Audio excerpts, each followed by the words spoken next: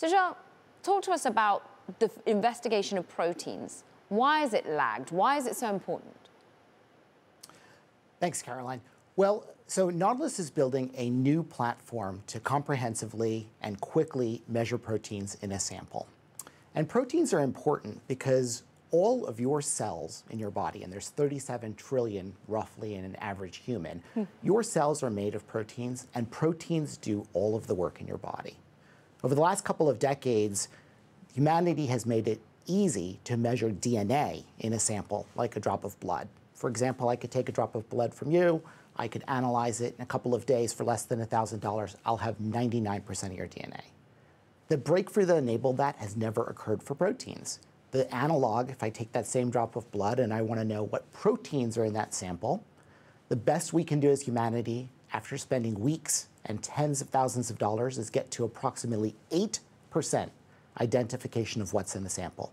And that has broad implications across therapeutic development, precision medicine, and has really hampered the delivery of this pers personalized medicine wave that we've been talking about for the last few decades. Uh, Sujal, why has it been left behind? Is it just incredibly difficult? What you're putting money to work, you're wanting to get people involved, partners are interested, but how hard is it going to be to get more than 8%?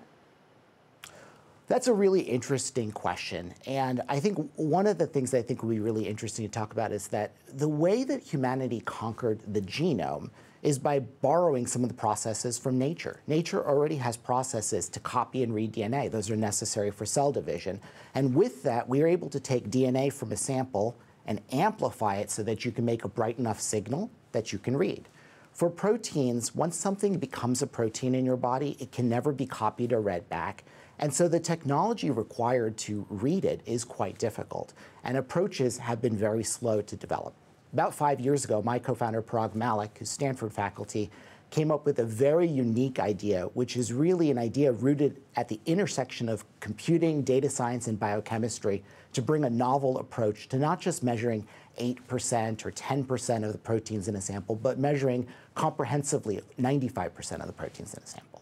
I mean, what's been so amazing about 2020 is how we've seen suddenly biotech reach center stage. The decade of investment that we saw in mRNA, in you know what we now see as CRISPR developments, has really helped us have breakthroughs when it comes to the vaccine race that we've seen upon our hands. But what, uh, in terms of investing in knowing our proteins, what's that going to lead to? Do you think can push us forward five, ten years? Yeah, that's a great question, Caroline. I think that you know we should celebrate the enormous accomplishment that the scientific community has delivered with mRNA vaccines and with the response to the COVID 19 pandemic. One of the sad truths, though, is over the course of the last couple of decades, the rate of new drugs being approved by the FDA has not significantly increased. And during that two decade period, the spend in research and development in pharmaceutical companies has nearly quadrupled. And if you look at what's going on today, biopharma has picked off many of the easy drugs for common ailments, and they need much more information that they can apply machine learning and deep learning to to be able to figure out what are the differences between healthy and sick cells, how do I build a better therapeutic, and the promise of the technology that we are working to bring to the world is that you'll be able to build better therapeutics in less time with higher efficacy and less toxicity. We're looking at a chart of your share price because you recently went public via a special purpose acquisition company, the good old SPAC. Why? What's it done for you? Well, so I think to first and foremost, to understand why, you have to understand what are our motivations for going public. And you know, I'm a former public company CEO. I know what it's like to be public, and certainly there's a lot more scrutiny and a lot more work being a public company.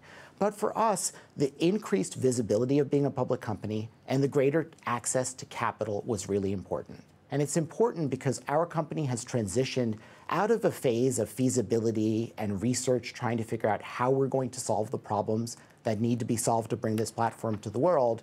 And now we've moved into a phase of formal development in manufacturing. And with that comes a lot of headcount growth, it comes a lot of expense growth, and being a public company aids us in a number of ways.